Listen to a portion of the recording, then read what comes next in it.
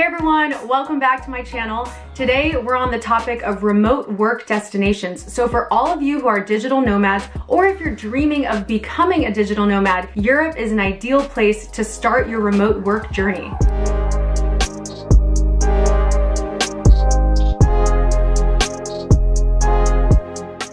Working as a digital nomad for six years and I've lived and worked through 20 different European countries. So I came up with this list based on my own experiences so I could help you in your planning stages. But before we jump in, I'd like to say thank you to Wondrium for sponsoring this video. I'm really excited to share Wondrium with you because if you have not heard of Wondrium, your brain is going to love this place. Especially for all of you who come back to watch my videos, I know you love learning as much as I do. And if you have an interest of bettering yourself or you want to continue challenging yourself, then this product will satisfy all of that. Wondrium is where you find the answer to everything you've ever wondered about. Their carefully curated collection of short and long form videos, tutorials, how-tos, travel logs, documentaries, and more is academically comprehensive, thoroughly researched, it's so entertaining, and presented by engaging experts. If you've watched my past videos, you know I'm a history nerd.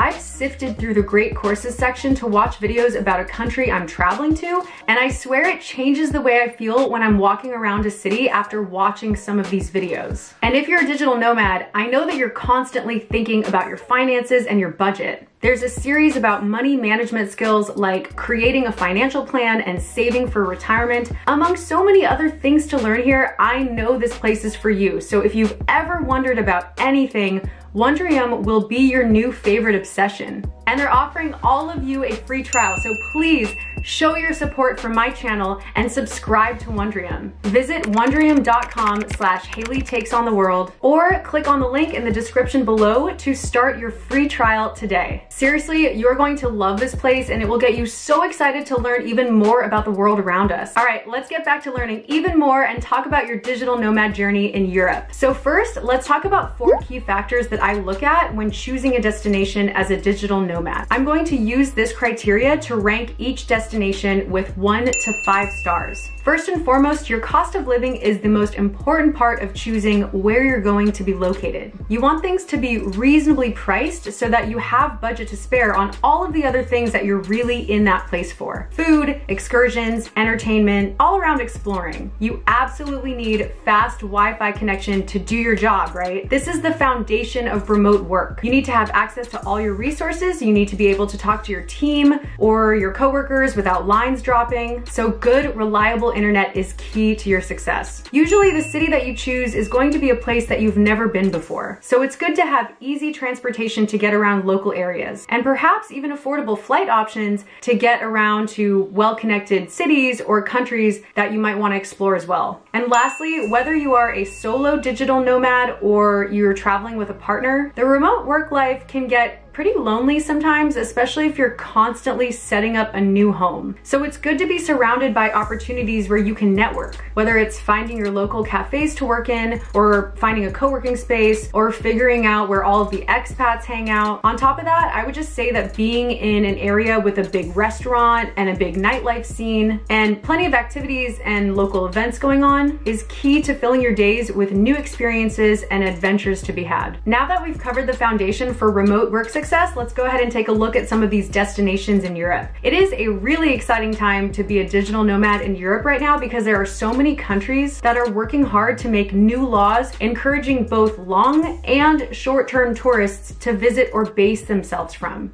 So from my experiences living and working in Europe, I've chosen the top five destinations that I personally have thrived in as part of the digital nomad community. So first off, Croatia. Oh, love Croatia. Croatia is a country with a pretty turbulent past few decades, but the country and the people have risen out of the conflict and is now seeing a huge boom in tourism and tech. Honestly, Croatia has it all The eastern coastline stretches across the beautiful Adriatic Sea with ancient cities and towns nestled between the sea and the Balkan Mountains. If you're a foodie looking for new experiences, there are markets full of delicious cheeses, meats, summer fruits and vegetables, all kinds of seafood and fresh bread. In your non-working hours, you can sail the Croatian islands, visit national parks full of waterfalls, and if you're an adrenaline junkie, there are plenty of outdoor activities to take on. Traveling around Croatia is pretty easy if you want to take a day to visit Bosnia or Montenegro. The weather is warm and mild, being in the Mediterranean, and the cost of living is the best part. It's affordable for food, housing, and exploration. I had fast Wi-Fi at my Airbnb in Split and pretty decent Wi-Fi around the rest of the country. The only downside is if you are interested in working in co-working spaces, it's pretty limited. They're not dotted all over Croatia like they are in other countries, but there are plenty of cafes to work from if you need a change of atmosphere. And as a bonus, earlier this year, Croatia announced a digital nomad visa that allows foreign nationals to live in Croatia for up to one year without the need for local employment or a sponsorship. This is a brand new visa that came out in January 2021, so make sure to check it out. Next up, we've got Portugal. Portugal, I would say, is pretty overlooked by people who are looking to travel to Europe, but it has all of the necessary requirements for digital nomads, which makes it even better. And let me just say that there's so much more to Portugal than Lisbon. The whole coastline is beaches galore and it's easy to travel between different places in Portugal by bus, train, or car if you decide to rent. Although if you wanna travel between Portugal and surrounding countries like Spain, the best way is to fly, so it's not as accessible to visit other countries. As a whole, Portugal is ahead of the curve in remote work because it has some of the best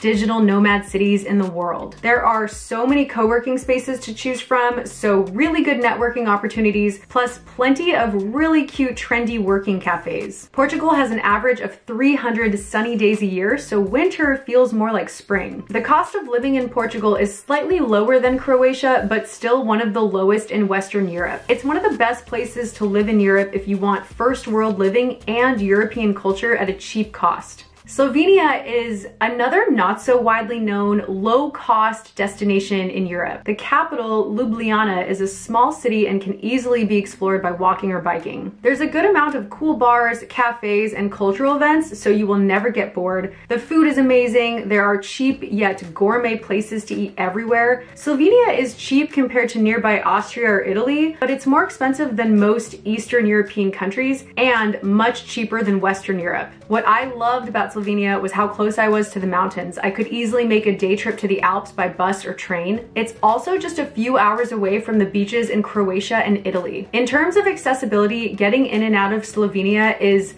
neither cheap nor easy. The airport is small and not many airlines fly in there, so honestly, you'd be lucky to find a cheap flight directly to Slovenia. Also, the expat digital nomad community is not as built up there, so there are there's a few working cafes. They do have solid Wi-Fi. I preferred working in my Airbnb personally, but either way, you will still find other like-minded people and extremely friendly and generous locals. Next on the list is Edinburgh. Ugh, one of my favorite cities and is so worthwhile for a long visit. Edinburgh is a magnificent city with towering Gothic architecture and so many old and trendy pubs and cafes. Because it's prominent with universities, the city feels young and social and you'll feel a very warm welcome from Scots and foreigners alike. There's free and reliable Wi-Fi all over the city and a good amount of co-working cafes to choose from. Since the country is so small, you can make easy day trips and weekend vacations around the whole country and even around the UK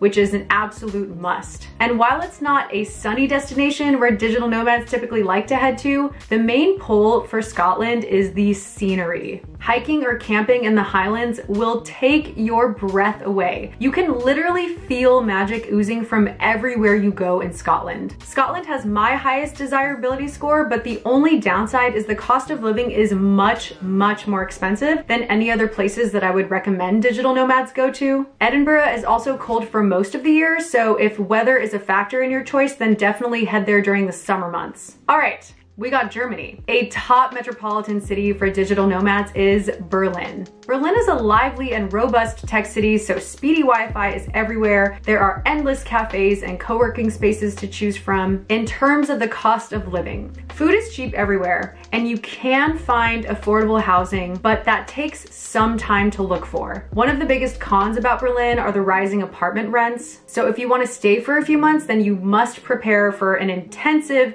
time-consuming flat search. Many landlords in Berlin require proof of a full-time paying job and a history of payment from other rental establishments before letting you into their property. But did I mention the nightlife? The nightlife is crazy in Berlin. You will not be lacking on things to do. Berlin is also such an accessible city to get around. There are international train stations if you want to hop to a bordering country for a weekend and two international airports if you want to go further. If you are planning on staying somewhere in Europe, of course, there are so many options that you can choose from, but definitely consider the last five that I just mentioned. I stay attuned to where the digital nomads love to be, and the next few places that I have not yet stayed, but I continue to hear amazing things about are Poland, Estonia, and Georgia. Both Georgia and Estonia offer year-round visas to people from all over the world that are relatively easy to apply for and receive. So definitely check those places out too in addition to the five I mentioned. If you're a digital nomad in this community, where have you stayed and where would you recommend me and everyone here watching go to next? If you are interested in locations outside of Europe, check out my playlist here on my channel. I've made quite a few few videos in the last year about my remote work stints all over the world. And as always, let me know if you guys have any questions, drop your questions or comments down below. Please like this video. Please subscribe. If you have not subscribed to my channel, please do that. And you can also always DM me on Instagram. Thank you for watching everyone and until next time, take on the world.